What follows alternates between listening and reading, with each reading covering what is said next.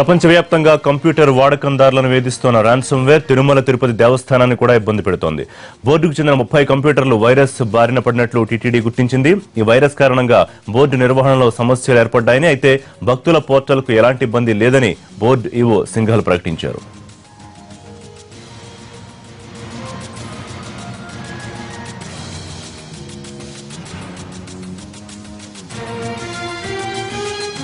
టీటీడీని కూడా వనాక్రై వైరస్ వదలలేదు. ఆ ఎఫెక్ట్ ఏ స్థాయిలో ఉంది? టీటీడీ కంప్యూటర్లకు వైరస్ సోకినట్లు అధికారులు నిర్ధారించారు. దీనికి సంబంధించి పూర్తి డీటెయిల్స్ తిరుమల నుంచి మోహన్ అందిస్తారు. మోహన్ అధికారులు ఏం చెప్తున్నారు? ఎంతవరకు ఈ వైరస్ టీటీడీని ఇబ్బంది పెట్టింది?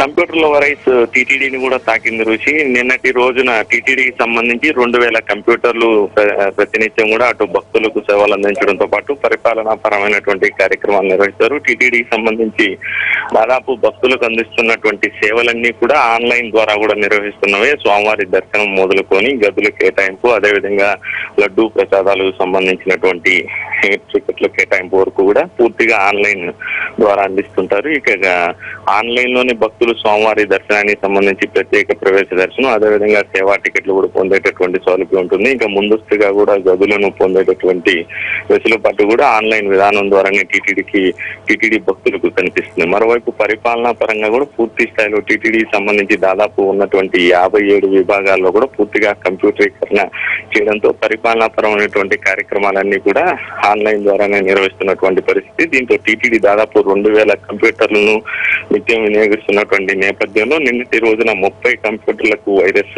సోకినట్లుగా కూడా టీటీడీ అధికారులు గుర్తించారు.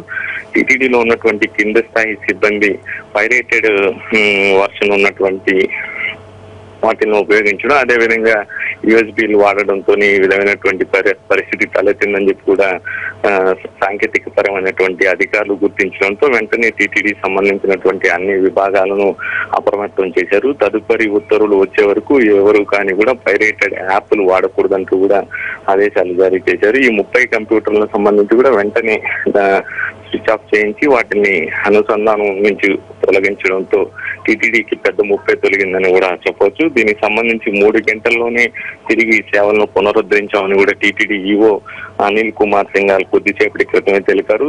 ఇక భవిష్యత్తులో కూడా ఇలాంటి పరిస్థితి తలెత్తకుండా ఉండేందుకు ఇవాళ పదకొండు గంటలకు టీసీఎస్ సంబంధించినటువంటి ఉన్నత అధికారులతో సమావేశం నిర్వహించి దీనికి సంబంధించి తదుపరి చర్యలు కూడా చేపడతామని అనిల్ కుమార్ సింఘాల్ చెప్పారు. ఋషి థ్యాంక్ యూ